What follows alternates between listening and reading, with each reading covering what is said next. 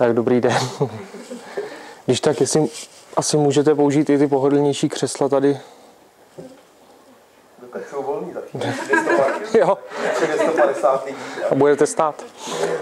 Tak já bych vás tady chtěl přivítat teda, děkuji za eh, knihovně za prostory a eh, Luce Nitkulincový za, za uspořádání této akce. Eh, Moje jméno je Martin Dříha. Asi bych vám o sobě měl něco říct, ale ono toho moc není. Zajímám se o kinologii celkově, o historii plemen psů a zvláště pak o historii bulteriérů. K tomuhle tomu bych chtěl uvíct, že budu tady mluvit o bulteriérech, ale mám na mysli plemena teriérů typu bull. Nepovažuji za nutný používat tenhle krkolomný název, když v češtině máme označení bulteriéři. Takže aby jsme si pak rozuměli, že nemluvím jenom o klabonosím bulteriérovi, ale o všech plemenech. Tak, eh, myslím si, že bychom mohli začít eh, vlastně, nebo nejdůležitější je na psech jejich povaha. Eh, myslím si, že by to měl být hlavní faktor, podle čeho bychom si měli zvíře vybírat. Nikdy si nevybírat psa, že otevřu atlas a prstem ukážu na zvíře, který se mi líbí a to si vybrat. To si myslím, že je ta nejhorší varianta. No a abychom porozuměli dokonale povaze bulteriérů, tak eh, bychom měli znát dokonale jejich historii, protože vlastně eh, historie plemené se vždycky eh, odráží v jejich povaze. Jejich, jejich určení, jejich používání po několik set let se vždycky tu povahu prostě formuje.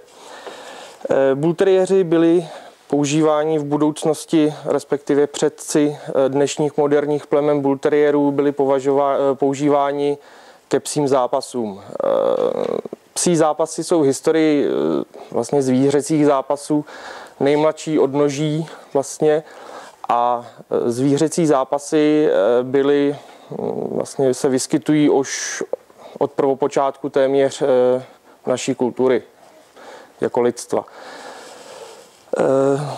Důvodem vzniku zvířecích zápasů byla vlastně diferenciace lidské společnosti, kdy začala vznikat města a e, ta společnost lidí se rozdělila, že už všichni nelovili, všichni nebojovali, začalo vznikat, začala vznikat aristokracie, která si ale nechtěla tyhle ty zážitky nechat z bojiště anebo z lovu nechtěla nechávat uh, uniknout a vznikly vlastně inscenované boje a inscenované lovy. Uh, teda zvířecí zápasy. Dneska se neví, kdo s tím přišel první, jestli to byli etruskové, římaně, římané, babyloniané, opravdu jakoby historici v tomhle tápou, ale vlastně v prvopočátku to byly velkolepé ukázky bojů a lovů v arenách, eh, kde byly proti sobě štvaní, eh, štvaní, štvaná velká množství zvěře, zvířat, eh, křesťanů, a psů. Vlastně psy, kteří byli používáni k tomu, to byli vlastně molosové. Eh, v Římě se jim nazývalo Canis pugnax, což byl římský válečný pes, který byl k tomu hodně používan. Potom, když, když Římané dobili Británii, začaly se používat i britský mastifové. Eh, vlastně tady bych otevřel první obrázek, jak ho zvětším? jo? Samozřejmě obliba těchto z těch zvířecích zápasů a e, byla veliká a prosakovala i mezi nižší šlechtu, která si nemohla dovolit, děkuju, která si nemohla dovolit nakupovat e, drahá exotická zvířata a stavět e, kolose a stavět amfiteátry, v kterých se ty zápasy odehrávali a využívali k tomuto dostupnější, dostupnější eh, zvířata, převážně bíky, eh, kteří byli uvazováni buď to k velkému kameni, ke stromu a vlastně začala takhle nová éra nejen zápasů tímto bullbaitingem, ale také nová éra chovu psů vlastně e, zvířata, která k tomuto, nebo psy, která, kteří k tomuto byli využívaní, buldoci, eh, už nebyli jen honáčtí psy, kteří vlastně museli hnát stáda na, dlouhá, na dlouhé vzdálenosti, ale stávali se z nich specialisti vyloženě jenom na zápas, kde vlastně eh, vzdálenost psa, kterou musel překonat, nepřesahovala 20 jardů a měnily se i anatomické požadavky na psa. Eh, krátila se čelist horní, vlastně spodní čelist se vpačovala a tohle to dělalo tlamu, která byla dokonale uspůsobená k zahryznutí se do bíkova mulce. Ty psy už měli pak horší termoregulaci, e, psy se i snižovali, chov těch psů se ubíral směrem, že se snižovali, aby představovali menší, menší e, cíl pro to zvíře. Já bych chtěl jenom říct, že takovýhle obrázky z toho 16., 17., 18. století působí poměrně idylicky, ale abych jsme nezapomínali, tady jsem si dovolil přečíst, nebo přečtu vám eh, anglický historik z roku 1744 eh, tuto událost popisuje takto. Myslím ten zápas Bík a pes. Z tohohle obrázku bychom usoudili, že je to poměrně hezká zábava, která hm, není moc závadná. Tak, cituju, eh, bylo dáno znamení k útoku dvou psů, Bík je nabral na rohy a na první škubnutí je vyhodil vysoko do vzduchu. Jeden pes utekl ze svého místa a další dva byli přivedeni, aby bíka napadli. Ale dopadlo to s nimi stejně. Lidé pečovali o psa, který padl jako o své dítě. Nakonec přikročil Jack Willett k zápasícím zvířatům a usekl bíkovi špičku rohu mečem. Takže bík poněkud ztratil odvahu a z nozder mu šla pěna. Jeden z dalších psů byl poražen prudkým nárazem. Byl teda poštván další pes, Jehož slávu pěvci rozšířili po celé zemi. V několika okamžicích byl pes zakousnut do chřípí bíka. Jack Willett věděl, že nic na světě nemůže psa přimět, aby povolil svůj stisk a obával se, že zábava rychle se chýlí ke konci.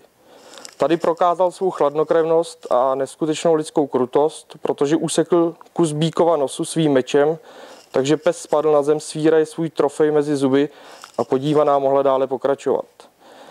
Takže z tohohle z toho dobového citátu můžeme opravdu usoudit, že se jednalo o neskutečně krutou zábavu. Byla to taková doba, i popravy se dělaly veřejné a lidi se u nich velice bavili. E, tuto zábavu si však mohla dovolit zase byť nižší, ale stále šlechta. Eh, chudí, chudí vesničané eh, nechtěli také přijít o takovou kratochvíli a používali eh, k těmto zápasům zvířecím často v Anglii teriéry, které štvali na zvěř, kterou si mohli levně obstarat odchytem v lese. Takže jezevce, krysy. Vznikala další vlastně odnož, takzvaný badger biding, což je, což je zápas s jezevcem, Aha. To nenačetl ty ostatní. Jo, tak já to... Po jednom asi vždycky, jo.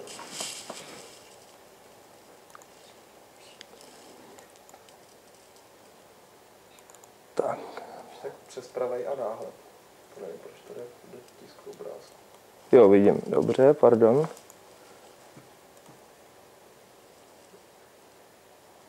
Na ten obrázek přímo.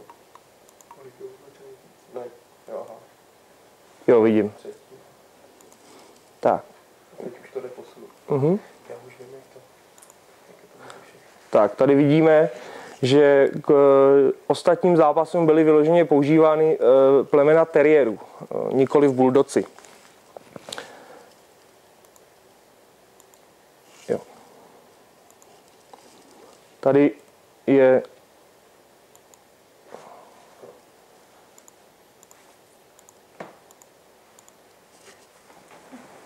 Uh-huh. Tak možná budu asi říkat čísla obrázků. A... Tak 016.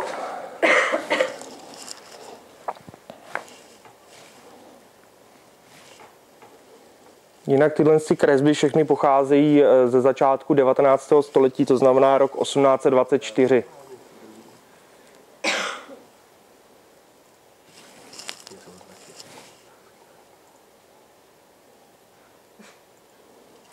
zkusit nějakou prezentaci? Ne, to, to drží všechny obrázky na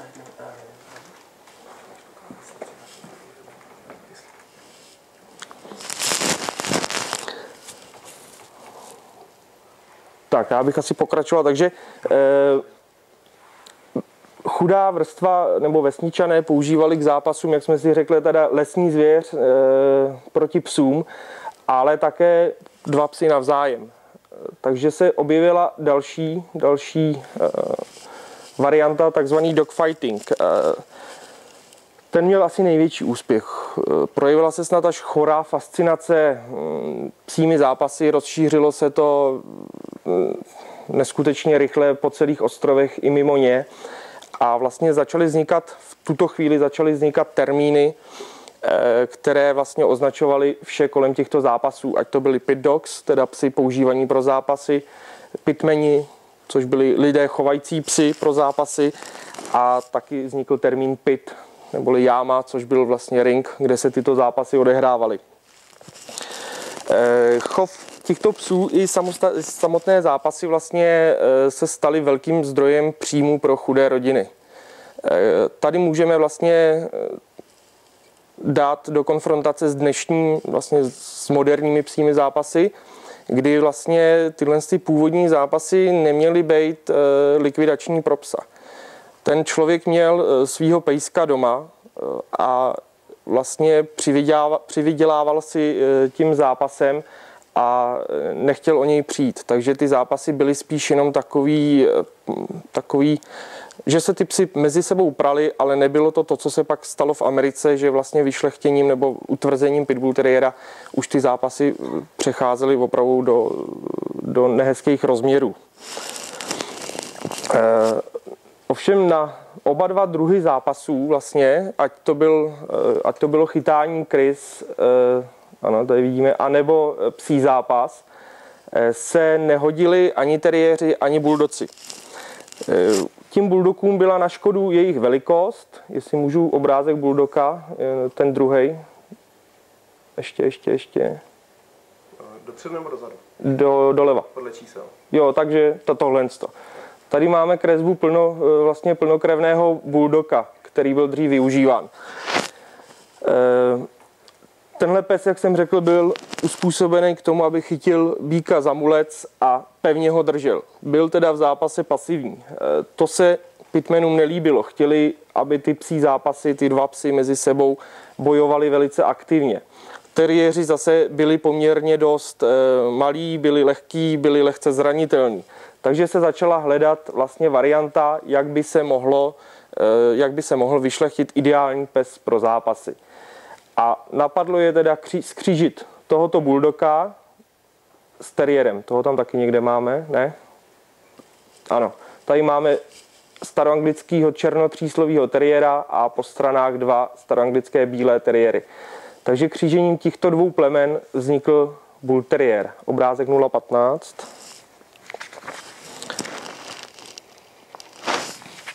Tak, tady máme první vyobrazení bull terriera, eh, které známe.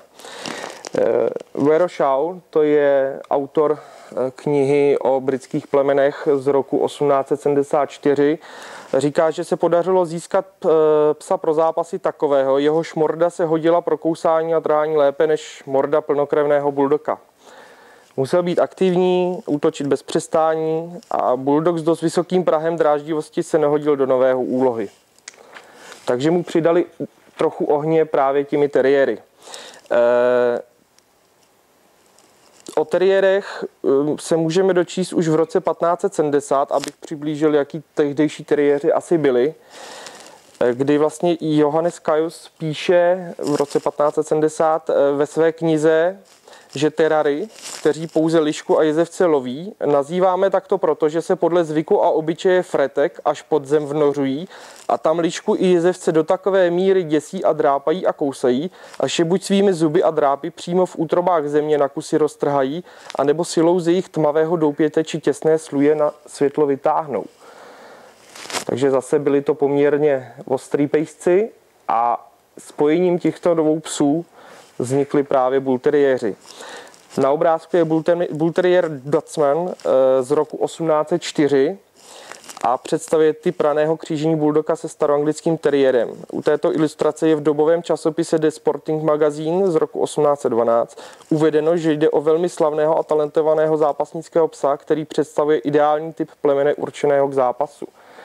E, ovšem bull terrieri, tenkrát nazývaný bull and terrier podle vlastně produktů křížení eh, nebo těch zdrojů křížení nebo half and half, půl na půl, eh, nevznikaly právě křížením jenom bulldoga a teriéra půl na půl, ale vlastně říká se, že nejlepší bull terrier byl eh, jehož matka byla kříženec bulldoga a teriéra a otec terrier, takže měl tři čtvrtiny krve teriéra a čtvrtinu bulldoga. Eh, to můžeme vlastně vyjádřit jednoduchým vzorcem, že bt rovná se f1 krát t, přičemž f1 je b krát t. Já si dělám srandu.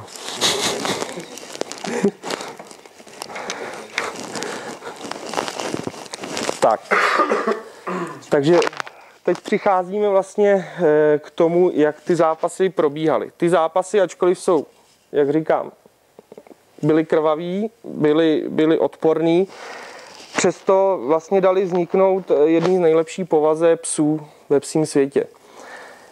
Eh, když si vezmete, že arény těchto z těch eh, zápasníků byly často ve stodolách, bylo tam, bylo tam velmi stresující prostředí pro toho psa.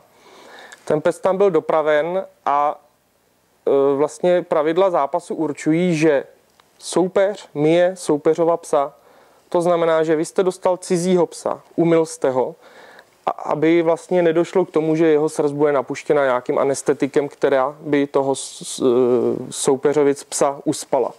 Takže jste cizího psa dostal do ruky, kterýho jste v životě neviděl. Toho psa jste umyl, toho psa jste zvážil, to znamená v kšírech jste ho pověsil na takový ten hřeznický hák, tam jste pejska zvážil a teprve potom ten pes šel do toho pitu, kde zase byli lidi, byl rozhočí, který během zápasu kontroloval třeba způsob chvatu. To znamená, že ten pes bojoval, on ho chytil, prohlídl si ten chvat, zase ho pustil. Ta zvířata nesměla za toho člověka zautočit. Taková zvířata byla okamžitě z chovu odstraněna. A tenkrát se prostě odstranění chovu považovalo utracení.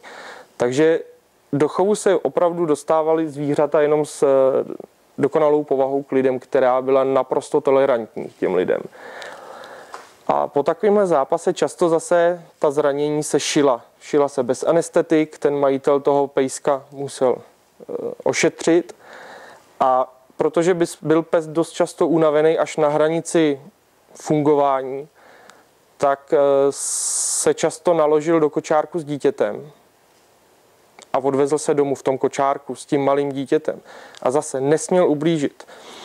A protože to byla zábava většinou anglických horníků, kteří eh, žili v malých hornických domcích, kde ten pes žil s nima vlastně jakoby v dnešním panelákovém bytě, tak vlastně ten pes ležel před krbem, děti se po něm válely, hráli si s ním až do dalšího zápasu. Takže vlastně tohle to dělá z bulteriérů dokonalý psy pro život v bytě, za prvý, protože od samého počátku vlastně fungování žijou v bytech. Absolutně jim chybí jakýkoliv hlídací put. Ten pes, eh, pokud mluvíme zatím teda o staffordshireských bulteriérech, což jsou angličtí eh, vlastně eh, pokračovatele těchto psů, nemají absolutně hlídací instinkt. Sám ze zkušenosti vím, že když jsem měl jezevčíka, přijel mi na patrový tah, tak jezevčík ten štěkal do pominutí, bull terriera to nezvedne ani z gauče. Ten, tomu je to jedno. Takže opravdu dobytu ideální plemeno, k dětem je to ideální plemeno právě díky téhle krutý historii, že se do chovu nedostali žádný žádná jiná zvířata, než ta, která byla absolutně spolehlivá. E, mimochodem, Staffordshireský bull terrier je jediný plemeno na světě, který má tohle i ve standardu u povahy, že je absolutně spolehlivý. Sám to můžu potvrdit setkávám se se stovkami těchto psů a pokud někdy dojde, že k tomu, že stavbu zavrčí na člověka, je to jednou z 500 případů, tak majitel je opravdu překvapený, co se, co se děje, co to ten pes udělal. Takže myslím si, že tohle to nemá ve psím světě obdobu. Tak, vlastně eh, po roce 1895, kdy byl v Anglii eh, vlastně při, přijmut zákon na ochranu zvířat, je to nejstarší zákon na ochranu zvířat na světě, který už v roce 1895 zakázoval například kupírování uší, což je velmi pokrokový.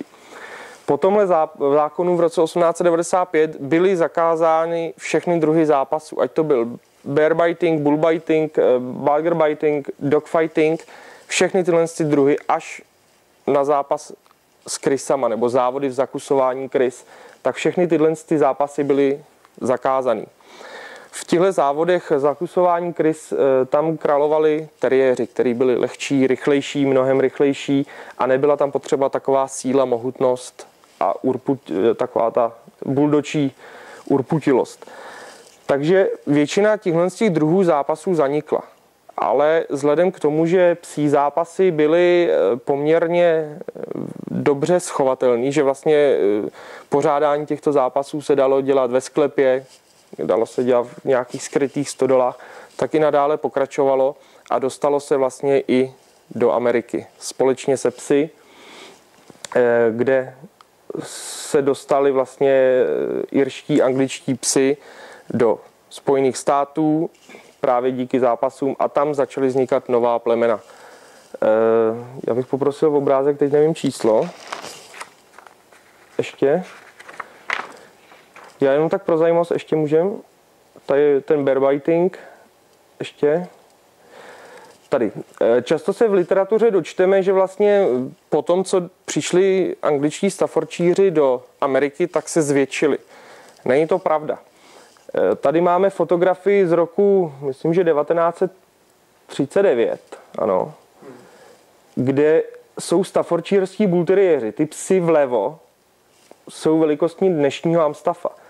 Jo, takže vlastně na americkém kontinentě se ta zvířata nezvětšovala, právě eh, naopak v Anglii se zmenšily po vydání nového standardu, který právě v tomhle přelomovém roce 1939 vešel v platnost, proto můžeme vidět i vpravo menší zvíře, kdy se kohoutková výška snížila z 45 na 35 cm. To je jenom taková oprava eh, na 37, pardon, to je jenom taková oprava eh, často uváděného omylu, že se vlastně na americkém kontinentě to plemeno zvětšovalo. Eh, já bych ještě poprosil dál obrázek. Ještě. Tak asi ještě. Ještě. Furt jedeme. Tak tady, eh, ještě dozadu, eh, tohle. Děkuju. Tohle můžeme považovat za původního vlastně staffordshireského bulteriera. Takhle, by mě, takhle asi kdysi vypadal. Tady se jedná o plemeno irský staffordshireský bulterier. Je to vlastně eh, kmen bulteriérů staffordshireských, lidí, kteří se nehodlali zdát psí zápasů. Po zákazu vlastně psích zápasů se ze Staffordshireského bulteriera začal stávat pes spíš výstavní a společenský, rodinný. A stejně tomu, jak tomu bylo v Americe v 50. letech, teda v roce 1947, kdy eh, se část chovatelů pitbull terrierů rozhodla že nebudou své psy chovat na zápasy, že se jim to nelíbí, tak vlastně začali své psy chovat jako rodinné psy, jako výstavní psy a takhle vznikl americký staffordshireský teriér. To znamená, v 50. letech se, byť to byli pitbull teriéři, začali zapisovat do nové plemené knihy amerických staffordshireských teriérů a vlastně rozdělilo se plemeno na dvě, na pitbull teriéra a na amstaffa. V Anglii se tohle stalo mnohem dřív právě tím, že lidi, kteří chtěli chovat dál psy na zápasy, chovali tyhle ty irský staffordshireský teriéry a ty bull teriéry, pardon, a lidi, kteří chtěli mít psa společníka, chovali stav bully. A tady máme obrázek právě tak, jak vypadal původní stav bull. Je to vlastně moderní fotografie, ale je to jako kdybyste se podívali do 18. 19. století. Eh, můžeme ještě tam na tu s těma třemi, s těma ještě, to, je tak, to jsou taky irský staffordshireský teriéry, to jsou ty staroangličtí teriéři, ještě, popojedeme, ještě, tak zpátky, ještě zpátky. Ne, ne, ne, tak když tak mi to půjčte, já si to budu, děkuju, ono, jo, bezva. Tak, tady máme e, obrázek anglického bull terriera. Řekli jsme si malinko jenom tak e, náznakově k historii staffordshireských bull terrierů, amerických staffordshireských terrierů, pitbull terrierů. Neměli bychom zapomenout na dalšího, na anglického bull terriera, což je vlastně takový ten s tím klabonosem. Nevím, e, jste tady všichni bull terrieráři nebo? Ne, ne. To je takový ten s tím klabonosem, takový ten nejznámější. Tak, ten vlastně vznikl- vznikl tak, že s- James Hinks, eh, jeho zakladatel, eh, se rozhodl, že vlastně vytvoří plemeno eh, přesně podle požadavků vlastně anglických, anglických gentlemanů. Protože ty staffordshireský bull terriéři byli chováni převážně horníkama. Bylo to vlastně na, na té spodině té společnosti tak eh, James Hinks chtěl vyšlechtit eh, psa, který eh, by se taky používal k zápasům, který by byl hlavně bílé barvy, byl by ušlechtilý, byl by krásný, byl by to psí gladiátor. Byl by to doprovodce gentlemanů. Takže skřížil původního staffordshireského bull zpátky se s bílým, star, se staroanglickým bílým teriérem, přilil ještě krev dalmatina a vlastně vznikl tím tento bull terrier. Postupným šlechtěním se dosáhlo toho klabonosu, který se objevil v chovu až v roce 1920. Eh, Tyhle ty bull terriéři se dostali eh, s anglickými důstojníky do Indie, eh, kde, která vlastně byla britskou kolonií. A tam se vlastně používali klovu a k zápasům těmi britskými důstojníky a e, zůstali tam izolovaní. Do dneška vlastně je to eh, zvíře, které tam přivezli. Tady máme eh, z roku 1902 hlavu bull terriera, anglického bull terriera z anglické publikace a tady máme fotku z roku 2009 toho pakistánského bull terriera. Takže je to opravdu zase pohled do historie. E, Ty, ta zvířata jsou tam do dnešní doby využívány k zápasům s medvědy, e, ale je to teda e, dost odporný, protože za je to Himalaj, nebo malajský medvěd, který je dost malej, má vyrvaný drápy, vyrvaný zuby, aby psům nemohl moc ublížit. Je to opravdu zábava primitivů. No. Ještě, já bych se chtěl, jestli zkusíte si typnout, co je tohle za plemeno. Myslíte se? Boxer. No, výborně, chlapče, jsi mi to celý zkazil. Jo, opravdu je to boxer, jo. Že řekneš Amstav. E, Vlastně k tomu bych chtěl navázat, že i v Evropě se pořádaly e, ty psí zápasy, dokonce v Praze je podle toho dneška pojmenovan ostrov Štvanice. Na ostrově Štvanice probíhaly ty inscenované štvanice, kde, se, e, kde, se, kde probíhaly zápasy. A vlastně boxer německý, tady je fotka z roku 1942, je vlastně kontinentální obdobou bull terriera. E, Málo kdo to ví, teda řekl bych možná, že nikdo, protože jsem to vymyslel já, nebo jsem, to od, od, nebo jsem si to odvodil sám. Protože vlastně boxer vznikl z nějakých bíkohryzů, který se vyskytovaly na území Evropy a postupem času se začaly vyskytovat malý a velký bíkohryz. Ten malý bíkohryz byl vlastně kříženec nebo produkt křížení velkého bíkohryza s knírači a spinči, což je kontinentální obdoba teriéru. Hladkosrstý německý pinč je manchesterský teriér a knírač eh, to je opravdu srstí i povahou teriér. Takže boxeři jsou kontinentální uh, bull terriéři. To jenom tak jsem odskočil. Tak teď k té povaze.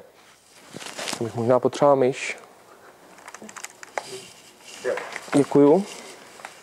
Aby jsme si vysvětlili to, o čem jsem tady možná trošku nesrozumitelně hovořil. Tak, bull terriéři mají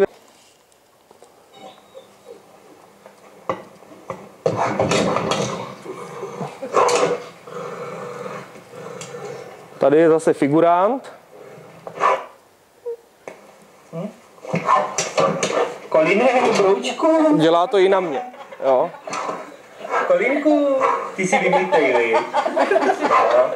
A teď vám ukážu, že když otevřu, tak vlastně ani vám, ani mě se nebude snažit nějak ublížit. Jo. Prostě od té doby odkoukal, že se auto hlídá, tak ho hlídá proti každému i proti mně. Ale tady je to, tady je to úskalí. Pokud vy naučíte bulteriéra e, útočit na člověka, nemyslím tím sportovní obrany, útočit na člověka, to znamená rozvíjet zlobu, tak jak se to dělalo dřív v armádě u policie, tak e, ten bulteriér je schopný se to naučit. Je. Sice mnohem hůř než jiná plemena, ale je. A vlastně e, v tomhle případě nastane ten samý jev. Ten, vy nás, naučíte svého psa útočit na cizího člověka, ale ten pes neví, proč útočí na to. On, on ví, že vám dělá tím radost. Tak to dělá. Ale když zautočí na vás, tak vám ch- chce udělat úplně stejnou radost, ale bohužel většinou to končí fatálně. To znamená, že pokud naučíme bulíka na lidi, na tvrdo, nedivil bych se tomu, že by se vohnali i po vás, jako po vašem pánovi. Naprosto, za prvý člověk, který tohle to udělá, tak je, tak je blázen, je, je, to, je to hlupák a e, dost riskuje. E, samozřejmě e,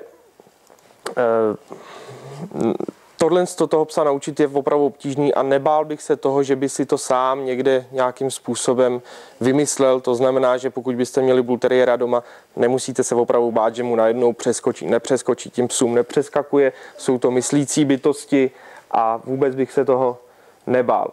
Ale tím samozřejmě nechci říct, že by bylo něco špatného na obranách. Obrany ano, ve sportovní kinologii, ale eh, ne rozvíjením zloby, ale na využití kořistnického pudu, teda přetahování se o, o, o aportek.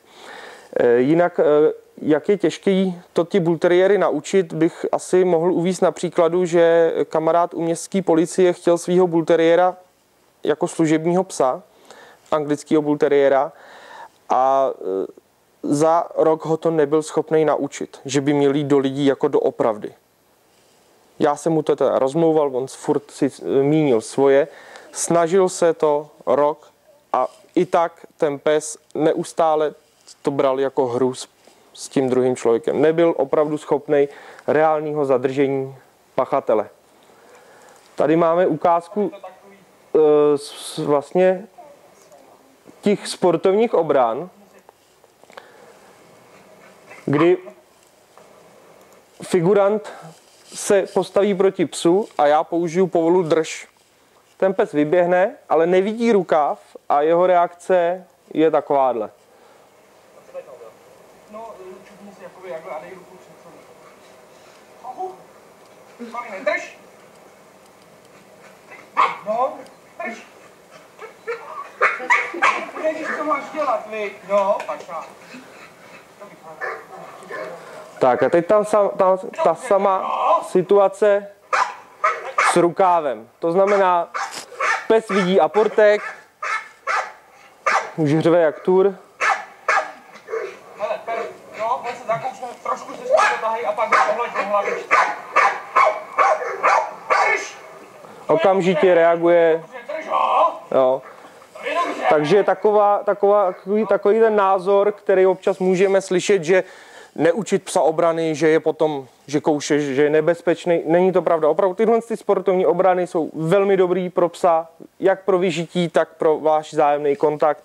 A sami jste viděli, že to absolutně neovlivní jeho vztah k člověku. Nevidím důvod, proč, proč někteří lidi tvrdí, že, že je to vlastně špatně. Tak, teď bych ještě se vrátil k tomu, eh, eh, k tomu, jak jsem říkal, eh, k ten vztah Bull Terrierů k jiným psům. Já najdu to správný video. Tady to. Tady jsme s Kolinem dělali kanisterapeutické zkoušky, kde vlastně celou dobu ten pes funguje mezi ostatníma psama. Samozřejmě nebudu vám nalhávat, že Kolin je nějaký svatoušek beránek. Ne, je to pes, který se velice rád popere, pokud k tomu má příležitost, ale zase záleží na výchově. E, Záměrně říkám na výchově, protože e, vlastně k bulteriérům byste měli přistupovat jako k dětem. Svým způsobem. Pravda, žádný jsem v životě nevychoval, ale myslím si to. Vlastně bulteriér je ve své podstatě neskutečně měkký plemeno k pánovi. Špatně se na něj podíváte, křivě se na něj podíváte a on okamžitě se dostane do neskutečné eh, deprese, co, co provedl špatně. Eh, je to někdy dost složitý, zvláště pokud je člověk mýho zevření, který působí na psy dost tvrdě, eh, tak se s ním hůř cvičí, že ten pejsek je opravdu, že neví, jestli to dělá dobře. Není to žádný tvrdák vůči pánovi. Zase na těch obranách, to bych uvedl dva příklady, německý ovčák, bull terrier na těch obranách je to opravdu, je to pes neskutečně statečný. Eh, když vezmete německého ovčáka, někteří psovodi to dělají, že před zkouškou ho trošku potrestají, aby ten pes věděl, že, že musí fungovat, eh, tak ten pes si z toho moc nedělá. Je schopný pracovat, a, eh, ale zase na druhou stranu, pokud narazí na nějakého tvrdého figuranta, tak se může stát, že ten figurant ho z toho placu vyžene. Takže německý ovčák je poměrně tvrdý pes vůči pánovi, vůči okolí taky, ale může se stát, že toho psa vyžene. Bull terrier, toho kdybyste před zkouškou plácli, tak, tak ten se okamžitě psychicky rozloží a není schopný ničeho, jenom prostě omdlít v autě. Ale vůči figurantovi je tak tvrdý, samozřejmě zase v rámci jenom té hry, že pokud má ten pešek, zakouslej ten rukáv, tak o něj může figurant přerážet násady od lopat a tomu psovi to nevadí. Nebere to prostě jako nějakou křivdu. Takže ten rozdíl těch povah tam je. A tady e, u toho, e, u těch kanisterapeutických zkoušek je žádoucí, aby ten pes nebyl vůbec agresivní vůči jiným psům.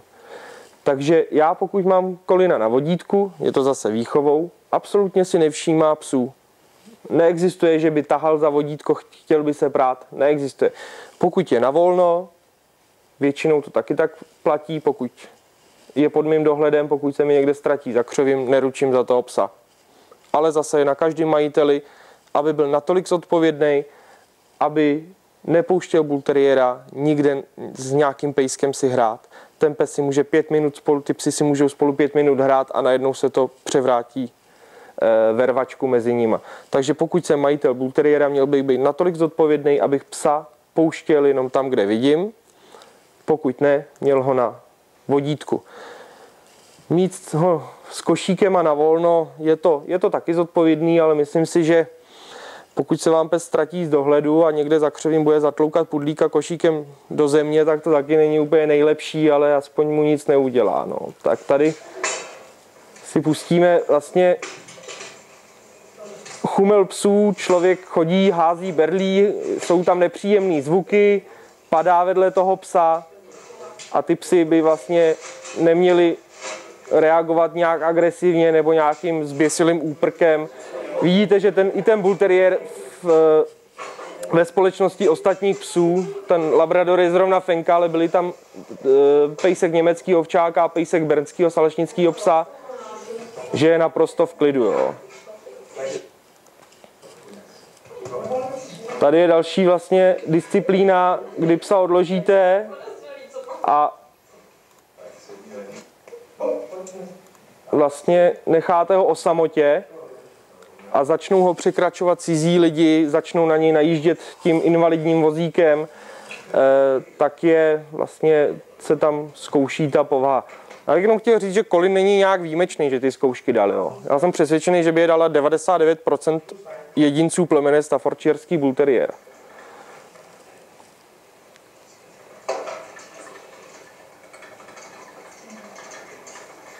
Jinak takhle působí poměrně dost klidně ten pejsek, nebo snad až lenivě. Eh, je to právě obrovským kladem tohohle plemene, nebo tihle plemen. Když je máte doma, tak o nich pomalu nevíte. Ten pes někde leží nej, nejradši u vás eh, na gauči a prostě takhle se tváří. Je to teda trošku takový eh, depresivní, ale na to si člověk zvykne. Když toho pejska vemete ven, tak do něj vyjde život. Jo. Eh, Já s ním třeba lovím divoký prasata, běhám s ním coursing, dělám sportovní obrany, opravdu úplně všechno, na co si vzpomenete, tak ten pes zvládne. Ale doma se chová takhle. Není to Jack Russell Terrier například, který je taky bezvadný na sporty, na lov, ale to samý dělá doma. Ten pes vám tam běhá do kolečka po stropě, pokud není vylítaný. Tohle zvíře, ten Bull Terrier, ani eh, i ostatní plemena nejsou zas nějak extrémně náročný na pohyb, že byste s nima museli ujet 20 km denně na kole. Ne, prostě eh, myslím si, že jsou to ideální domácí společníci, ale musíte k ním zase přistupovat tak, abyste věděli, co tam nedělá špatně. Ta povaha je dokonalá, má však jedno úskalí, o kterém jsme mluvili, eh, s tím, že neroz, ner- nerozlišuje ty dva druhy lidí, tudíž pokud to někdo naučí na člověka, je to špatně. Já bych asi možná, pokud vás ještě něco, něco zajímá, Mě by třeba zajímalo, jakým způsobem jste ho naučil na tom vodítku, když teda jakože tam nenapadá ty psy. No, zase, ten pejsek, jak je tak strašně eh, jakoby kontaktní k majiteli a měkký na majitele, tak stačí, aby prostě toho nemusíte vyškubávat, nemusíte ho plácnout. Opravdu stačí, když vystartuje po psovi, tak mu říct, Koline, co jsi to udělal. Takovýmhle tónem on okamžitě začne chrochtat, složí ouška, rozloží se a v životě už to neudělá. A když to udělá na volno, tak je poslechne. Poslechne. Jako samozřejmě, pokud ho vidím. Když to udělá na volno, kde ho nevidím, tak se velice rád popere. Jo. A i když je to takhle maličkatej pes, tak jednou, když jsme e, vlastně nacvičovali na lovecké zkoušky, tak se dostal trošku mimo můj dosah, kde narazil na Rottweilera, který se tam taky venčil. Na obranu Kolina musím říct, že Kolin si stále všímal e, hledání zvěře a Rottweiler ho chytil za záda a vyběhl s Rottweilerem takovým způsobem, že jsem tomu nevěřil. Takže opravdu nechce se to zmást tím, že je to pejsek velikosti kokr španěla, je to opravdu veliká zodpovědnost, když tohle psa máte, aby se aby nedocházelo ke zbytečným rvačkám mezi jinýma psama, zvláště na sídlištích, vrhá to pak špatný světlo, špatný světlo na celý plemeno. Netěší se moc velký oblibě právě kvůli tomu, že spousta lidí si myslí, že ten jeho pejsek je v pohodě, v jeho přítomnosti je na ostatní psy v pohodě, ale právě může si s ním i hrát, ten pes si bude pě- pět minut hrát s jiným psem, pak tam dojde k nějakému signálu, eh, který vlastně ten pes vyhodnotí jako útok, nebo ten druhý pes vyhodnotí jako útok už jenom tu prudkou povahu bull terriera, který když si hraje, tak si hraje dost prudce. Když běží, tak chrochtá. Spousta, lidí, eh, spousta psů si může myslet, že, že vrčí, takže ho napadnou jako první ty jiný psy a bull terrier se samozřejmě brání. Takže tam jsou jakoby úskalí toho, že ten člověk by měl být opravdu svědomitý. A můžu se zeptat eh, na vlastně využití tohohle plemene v myslivosti? Co si o tom myslíte, když to sám děláte s tím psem? E, no, není, není to takhle.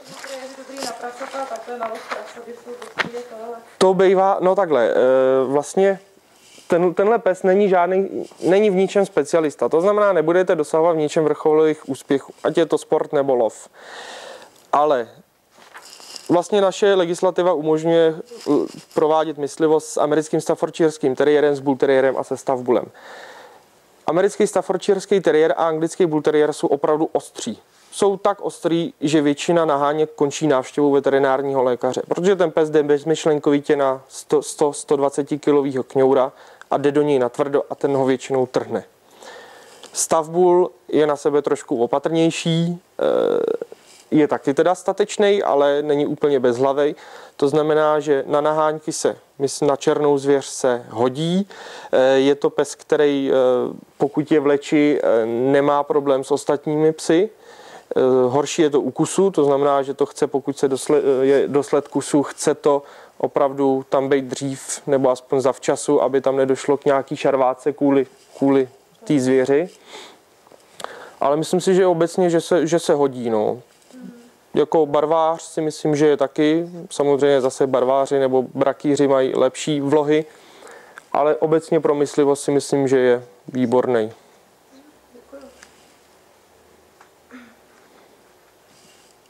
Myslíte si, že je vhodný takovýhle typy plemen cvičit na klasickém cvičáku? Jo, určitě. Zase, bylo by dobrý vybrat si cvičák, kde s tím mají zkušenosti. Protože pokud dorazíte na cvičák, kde s tím zkušenosti nemají, eh, tak vám poradějí a poradí vám tak, že většinou skončíte s výcvikem.